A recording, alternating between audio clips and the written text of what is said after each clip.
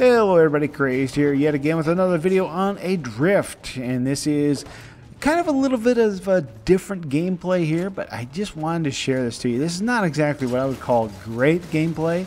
You're not going to see MLG calling me up anytime soon. But uh, this video actually really demonstrates something I wanted to share with you guys. Um, and this is extremely frustrating. Now, have you ever ever, ever, ever got into a match and you and your team are really trying hard. You you got a lot going on. You're doing your best, and you don't seem to be getting anywhere. It's it's a tough match, and, it's pretty even, more or less, on on everything. But all of a sudden, just all of a sudden, uh, it becomes impossible. You're getting swarmed. You're getting swamped. Uh, it's just like everything you do or nothing you do uh, even matters because it is that hard and difficult. And then you look, and then you look. You take a look at your uh, online screen or your roster here, and next thing you know, you are down players. You are down one, two, three players, or even more. You know, however, whatever the case the game is, you are down players, and that makes the game absolutely impossible. And that actually happens the other way around as well. It's like you're on there, you're fighting hard, and next thing you know, uh, the game all of a sudden becomes super easy, and you're just like, why is this so easy all of a sudden? And you finally you take a look, and you see the other team's roster has lost players just like constantly lost players, and it's just so rough. And, and, as you can see right here, my team, we are down three players. So it is two on five.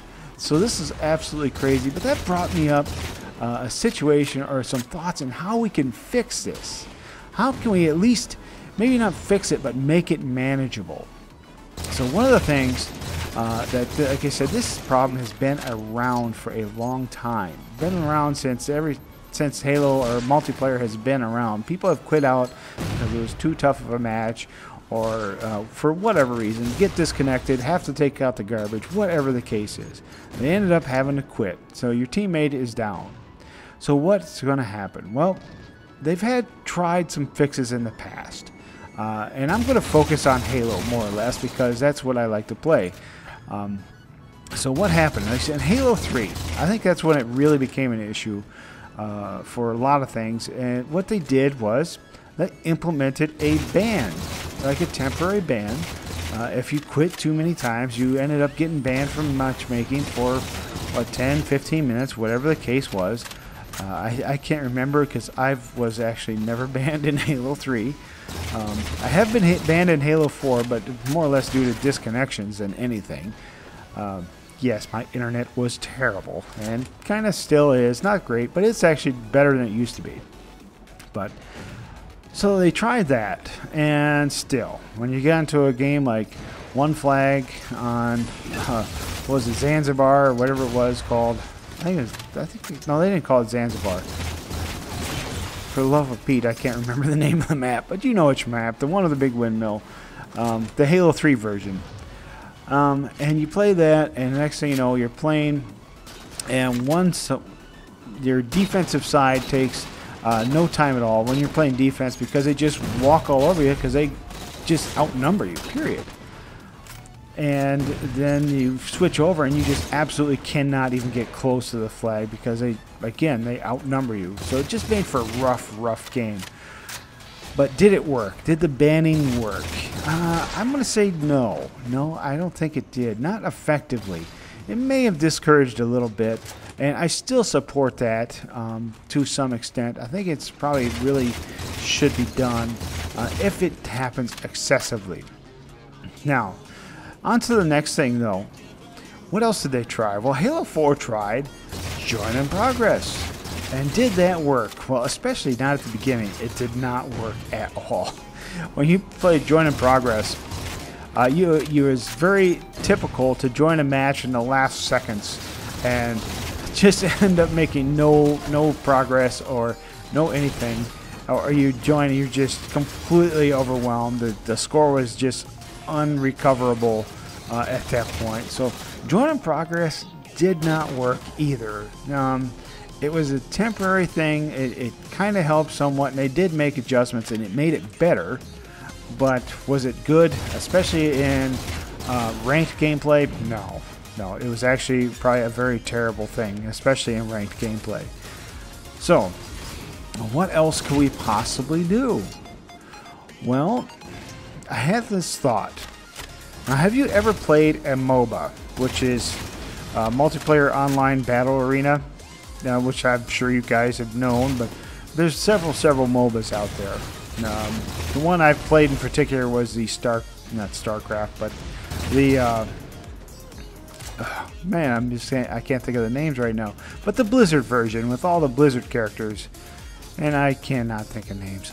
Sorry about that. But anyways, the point is, is that when you die, you actually end up gaining uh, respawn time, or you lose respawn time, whatever the case you want to say. So if you died and what happens is, is that your first time is like two or three seconds and you respawn. The second time is like five seconds.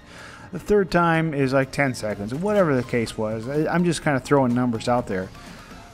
But the point is that it took longer to respawn, which means you, your team was at a little bit of a disadvantage. Now, why can't we use something similar to that in a Halo game, especially like social stuff.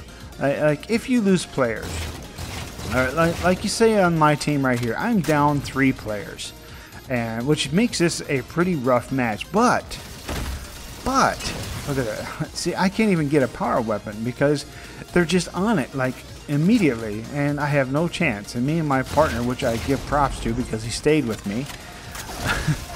We're just going from one uh, battle to the next, and we just can't even get time to recover. But however, what if every time or every player that was down, like I said, this player, uh, this team, we're down three players, and that would cause the other team to we lost him to for every player down, they get a two second respawn penalty I mean, it's not a penalty. It's just it helps to even the odds a little bit.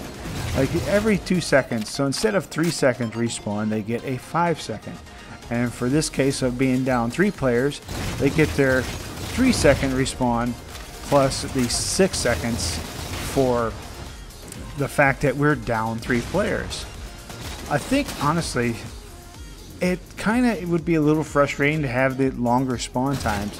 However, for games like this where it's just completely unfair, completely unbalanced, it might give us that opportunity to really put up a fight and at least give it a try, at least.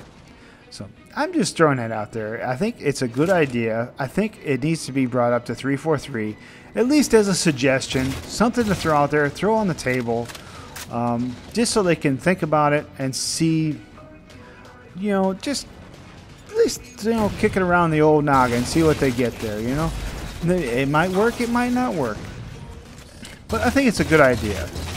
Now you see there, they actually have a team play or a player quit. So instead of the six second uh, respawn time, they would have the four second, you know, uh, extra time.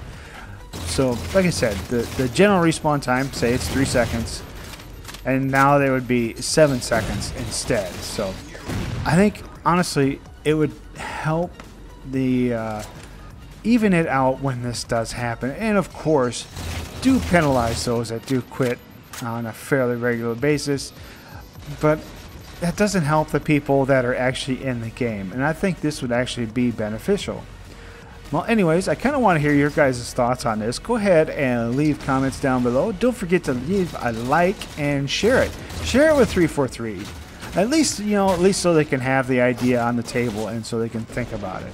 Because I think it's a, at least something worth uh, contemplating. Um, remember, Halo 6, we don't have any information as yet. And it'd be nice to see something like that. Or at least something to help us poor players that stick to the end. And I do give props out to my buddy here, which he didn't get do very well, and I didn't either, but it was fun. Thanks again, guys. This is Crazed. I'm out of here. comment, like, and subscribe.